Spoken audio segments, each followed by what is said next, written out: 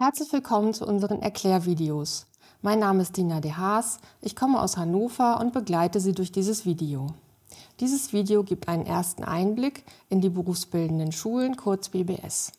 An den berufsbildenden Schulen kann man verschiedene Bildungsabschlüsse erlangen. Zum Beispiel einen Berufsabschluss nach einer Ausbildung, aber auch zusätzlich verschiedene Schulabschlüsse. Die Schulabschlüsse sind genau die gleichen wie an der allgemeinbildenden Schule.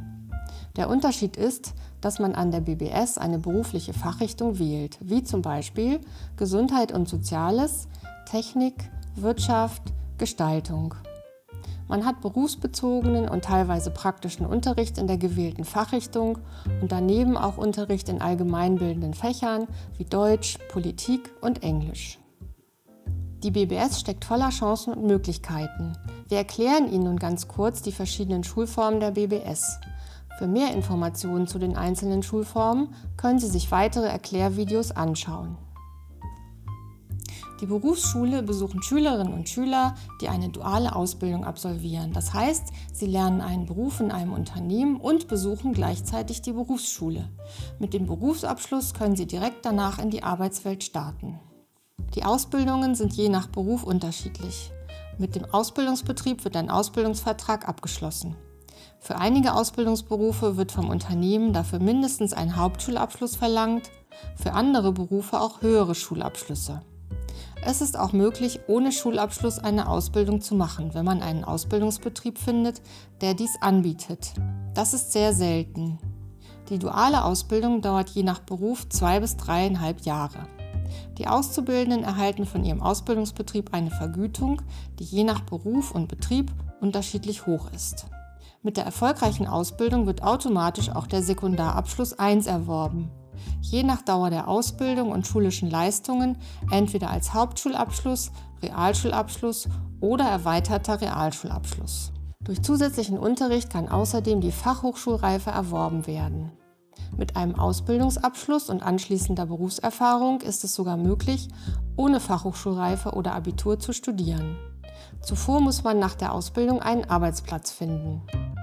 Einige Ausbildungsberufe können an der berufsqualifizierenden Berufsfachschule erlernt werden.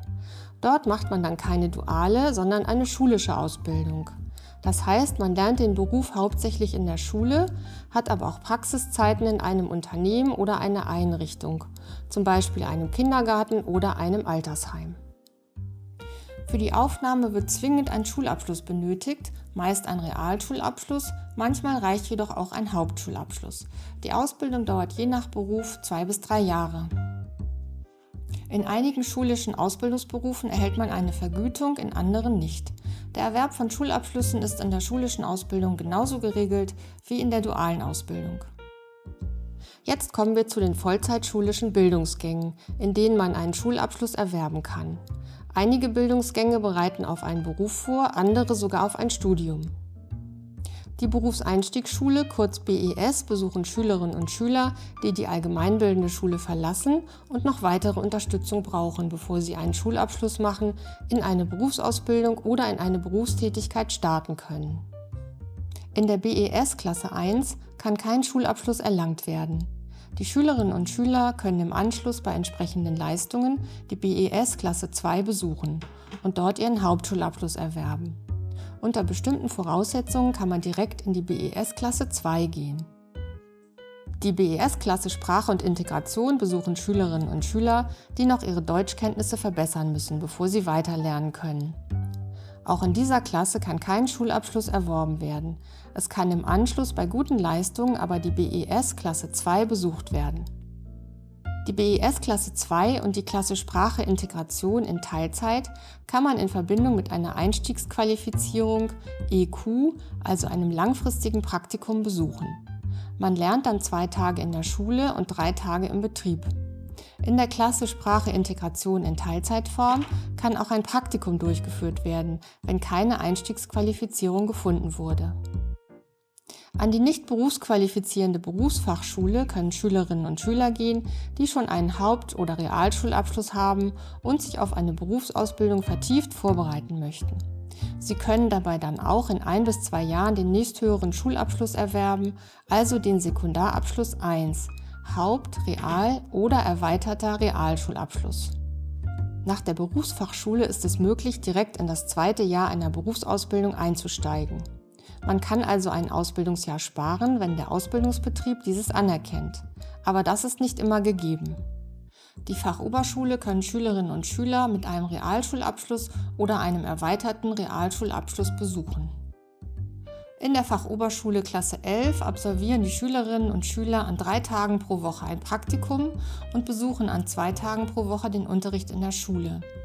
In der Fachoberschule Klasse 12 findet der Unterricht nur in der Schule statt. Ziel ist der Erwerb der Fachhochschulreife. Wer neben einem Realschulabschluss bereits einen Berufsabschluss oder Berufserfahrung mitbringt, kann die Fachoberschule Klasse 11 überspringen und direkt die Klasse 12 besuchen. Die Berufsoberschule kann nur besuchen, wer die Fachhochschulreife und zusätzlich einen Berufsabschluss mitbringt. Ziel ist die Erlangung der allgemeinen Hochschulreife, Abitur oder, wenn nur eine Fremdsprache gelernt wurde, der fachgebundenen Hochschulreife. Allerdings wird diese Schulform nur an wenigen berufsbildenden Schulen in Niedersachsen angeboten. Das berufliche Gymnasium können Schülerinnen und Schüler mit einem erweiterten Realschulabschluss besuchen, um dort die Fachhochschulreife oder die allgemeine Hochschulreife Abitur zu erlangen. An der Fachschule können Schülerinnen und Schüler, die bereits eine Ausbildung abgeschlossen haben, eine berufliche Weiterbildung machen, zum Beispiel zur staatlich geprüften Technikerin bzw. zum staatlich geprüften Techniker. An der Fachschule erlangen sie einen höherwertigen Berufsabschluss und gleichzeitig je nach Bildungsgang in der Regel die Fachhochschulreife. Die Berufsabschlüsse in einer Fachschule entsprechen in etwa einem Bachelorabschluss an einer Hochschule. Das war der kurze Überblick über alle Schulformen der berufsbildenden Schulen. Folgen wir nun zwei unserer Schülerinnen auf ihrem Weg durch das berufsbildende System. Das ist Johannes. Er verlässt mit einem Realschulabschluss die 10. Klasse und möchte später gerne seine eigene Firma gründen und leiten. Dazu nimmt er eine Ausbildung als Kaufmann im Einzelhandel auf und erwirbt mit dem Berufsabschluss auch den erweiterten Realschulabschluss.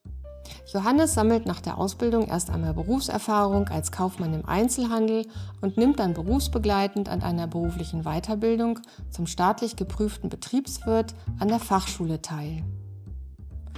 Als staatlich geprüfter Betriebswirt kann er eine leitende Position in seinem Unternehmen oder in einem Groß- und Einzelhandelsunternehmen aufnehmen. Außerdem ist er nun sehr gut vorbereitet, um seine eigene Firma zu gründen. Das ist Fatime. Sie ist erst kurz in Deutschland und hat noch keine guten Sprachkenntnisse. Auch wenn sie in ihrer Heimat bisher keinen Schulabschluss machen konnte, will sie unbedingt Ärztin werden. Zunächst besucht sie zum Aufbau einer guten sprachlichen Basis die Berufseinstiegsschule Klasse Sprache und Integration, wechselt dann in die Berufseinstiegsschule Klasse 2 und macht dort den Hauptschulabschluss. Anschließend macht sie eine duale Ausbildung zur medizinischen Fachangestellten. Sie spricht inzwischen perfekt Deutsch, hat gute medizinische Kenntnisse und eine abgeschlossene Berufsausbildung, die ihr Sicherheit gibt. Jetzt kann sie direkt in die Klasse 12 der Fachoberschule Gesundheit und Soziales einsteigen und ihre Fachhochschulreife erwerben.